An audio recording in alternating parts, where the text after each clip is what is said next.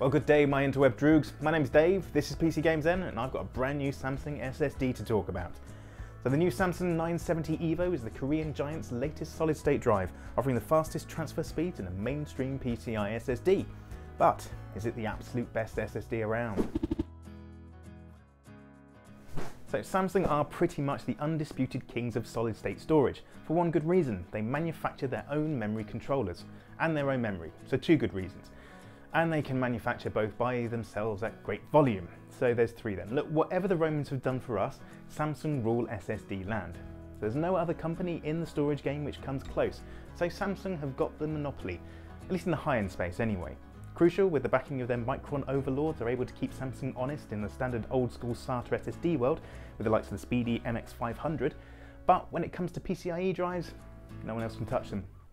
But the big question for the 970 EVO drive then is, have Samsung extended their performance lead or, with no one to push them, is the new SSD just a little bit more of the same? This time around, there's no new NAND flash memory to get all excited about, because you know how we all love to get excited about new NAND, right? No. Where the 960 EVO brought with it the new 3-bit MLC VNAND or stacked TLC memory, the 970 EVO is piggybacking the tech, bringing us more of the same. But using the old memory, Samsung have added an extra level of capacity to the EVO range, offering a 250GB, 500GB, this 1TB drive, and a big old 2TB SSD up top. Where there is some new memory, however, is in the makeup of the drive's cache. Samsung have switched from DDR3 to DDR4 for the new cache chips, and that helps it achieve a lower idle power level. The biggest change, however, and the one which is the most responsible for the 970 EVO's increased performance, yes, spoiler alert, this drive is faster, is the new Samsung-built Phoenix controller. If we're honest, it sounds like it's a lot like the previous gen's Polaris memory controller, with a total of 5 cores to give it the parallel data crunching chops. But they've boosted the clock speed of the chip, and that's where the drive's extra speed comes from. So it's faster then, but by how much? The main thing is always going to be the level of sequential read-write performance a new SSD can deliver. And while the 1TB drive's headline speeds of 3,400 megabytes per second and 2,500 megabytes per second sound pretty astounding, inevitably you're not going to see that in day-to-day -day use. Most of the big files you mess around with have already been compressed, and the incompressible read-write speeds of the 970 EVO actually means you're getting more like 2,500 and 2,400 megabytes per second in terms of the read and write. Part of that pace though comes from Samsung's intelligent turbo write tech. At its most basic level, it's a feature which apportions a small amount of the drive's capacity to act as single level cell memory, which performs quicker than the triple level cell TLC standard. The intelligent part, which was introduced with the 960 EVO, allows the drive to allocate extra storage to this SLC cache if a specific data transfer needs it, i.e. is over 4GB in size, if there is enough spare capacity on the drive to allow it, however.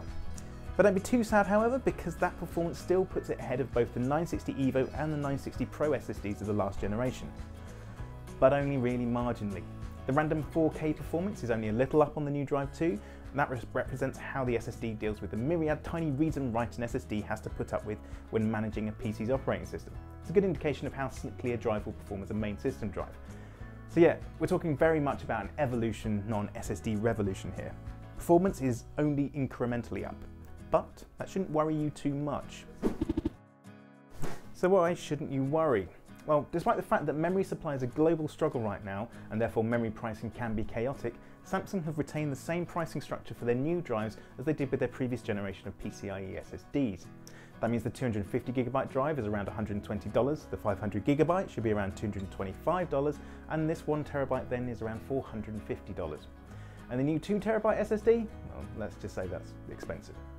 Still, considering what's happened to the graphics card pricing recently, partly because of the memory supply and demand issues, the new drive's pricing staying flat is a bit of a win. Samsung clearly have a lot of faith in the new mainstream drives too, because they're offering the same 5-year warranty the Pro series enjoys with these traditionally less reliable TLC-powered SSDs. That's borne out by the endurance of these new drives too. Samsung rate this 1TB drive has, has having a total bytes written level of 600 terabytes. That's up a hefty 200 terabytes over the previous generation. So while the actual SSD performance isn't maybe as exciting as the speed boost we've enjoyed in previous generations, this is still the most powerful high-speed SSD that you would actually bother to buy. The 960 Pro is quicker again, but way more expensive, and only faster in ways that make zero difference to most of us. Sure, this 1TB SSD is also seriously expensive, but the 500GB version is half the price with almost the same level of performance and will be a fantastic boot drive too. You can then pick up a 1TB SSD for the same cost to act as a speedy data drive. So that's a win-win. So that's the new Samsung 970 EVO then. It's the fastest mainstream PCIe SSD around, and even if it's not the most explosive of performance boosts, it's still delivering class-leading performance at a relatively decent price. So, thanks for listening to the noises coming out of the space below my nose, and if you've liked what you've seen and heard, give us a like and subscribe, and check back for more gaming and hardware goodness very, very soon. See you around!